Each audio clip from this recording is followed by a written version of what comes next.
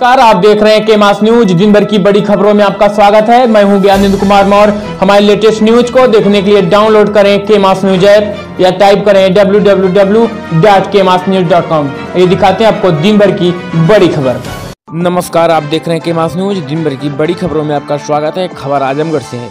बता दें आपको, doctor Bhimrao Ambedkar sporting club Kujrao में फुटबॉल प्रतियोगिता का किया गया उद्घाटन।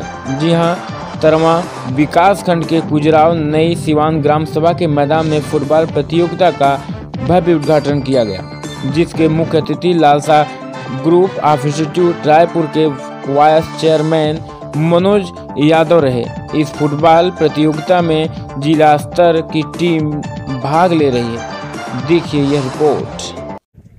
मौजूद है इस समय हम आजमगढ़ ज़िले के तरवा ब्लॉक के गुजराव नई सिवान गाँव में, जहाँ की आज यहाँ पर doctor Bhimrao Ambedkar sporting club की तरफ़ से फुटबॉल फुटबॉल प्रतियोगिता का आयोजन किया गया है। आज हम यहाँ पर मौजूद हैं इस चीज़ को जानने के लिए कि वाकई में खेल जगत में कौन कौन सी चीज़ें लोगों को प्रेरित कर रही है और जो ये आज के युवा वर्ग के जो युवक हैं, उनकी क्या क्षमता है और वो कहाँ तक, किस स्तर तक जाने के लिए प्रेरित है। आइए हम कुछ लोगों से बात करते हैं। यहाँ पे फुटबॉल प्रतियोगिता का आयोजन किया गया है इसके बारे में आपका क्या करना है?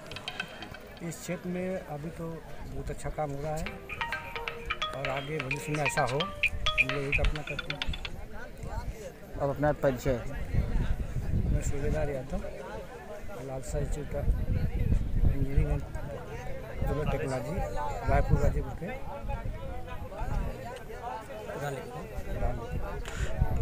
फुटबॉल को ख्याति क्यों नहीं प्राप्त हो पा रही जो एक क्रिकेट को प्राप्त हो रही है? कहाँ कमी रह गई है?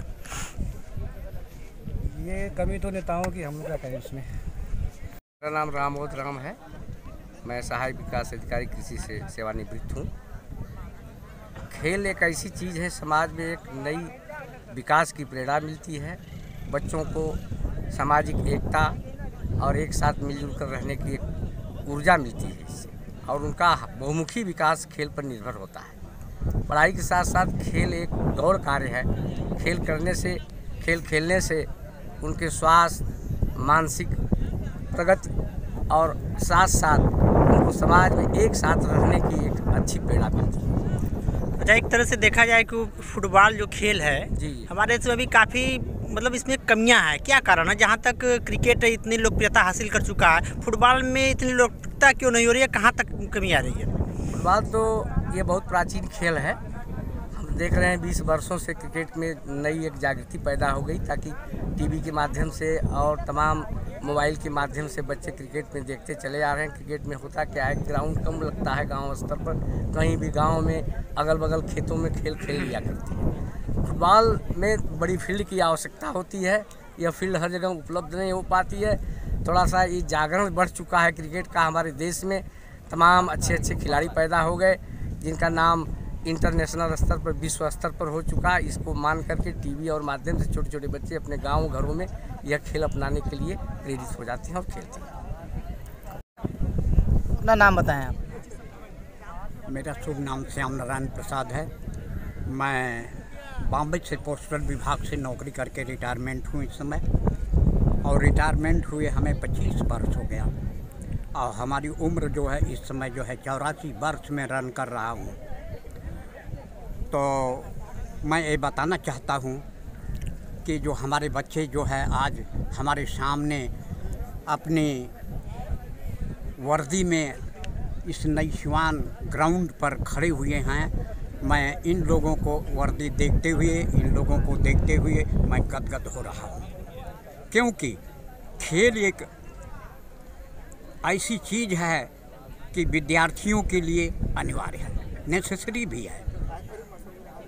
क्योंकि ये पढ़ते लिखते हैं तो पढ़ाई लिखा, लिखाई के साथ में इनके स्वास्थ्य हेल्थ के विषय में जो है, एक खेल जो है, क्रिकेट खेल हो, फुटबॉल हो, हॉकी हो, और अन्य भारत के खेलों में खेल हैं खेल खेलने से इनके अंदर एक इस प्रकार की भावना ममता पैदा होती है कि हम दूर तक खेलें और इंटरनेशनल के खिलाड़ी भी बन जाएँ।